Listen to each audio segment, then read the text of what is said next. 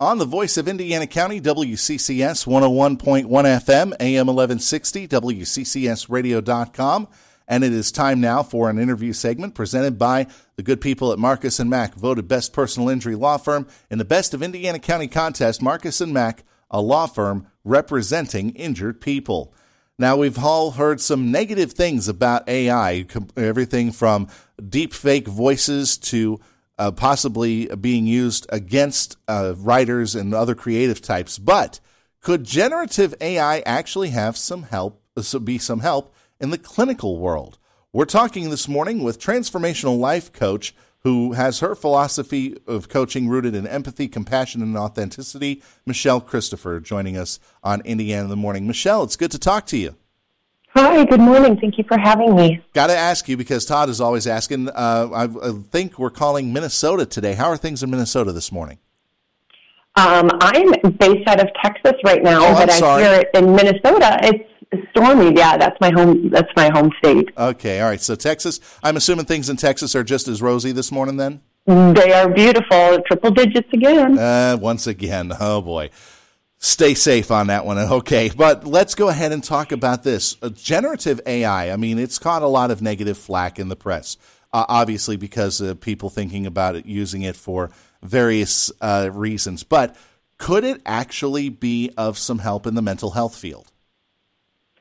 So I would say yes, as long as you use it safely.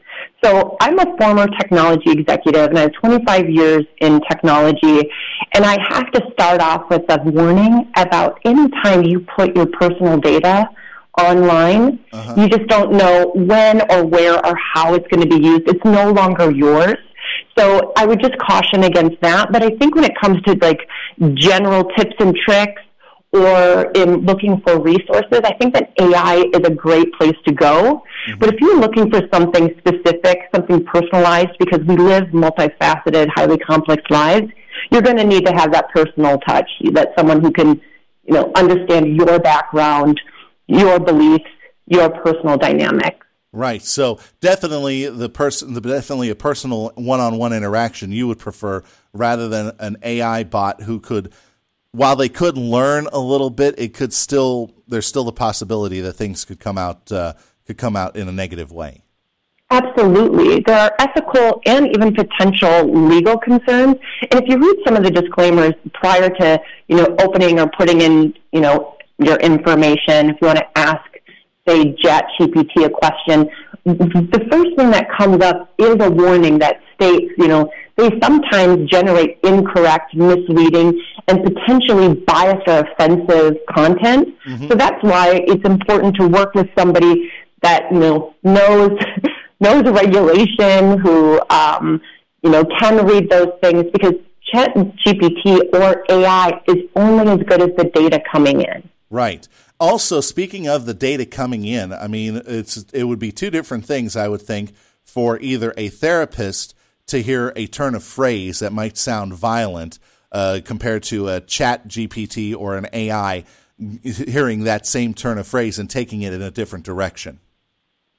Absolutely. You know, there's definitely those nonverbal and those verbal things that AI cannot pick up on where uh, life coach, when I'm working with my clients and I personalize their plan for them based off of, you know, their, their personal dynamics, I can look at, I can observe their behavior, I can observe the things that they're saying, and I can make the modifications.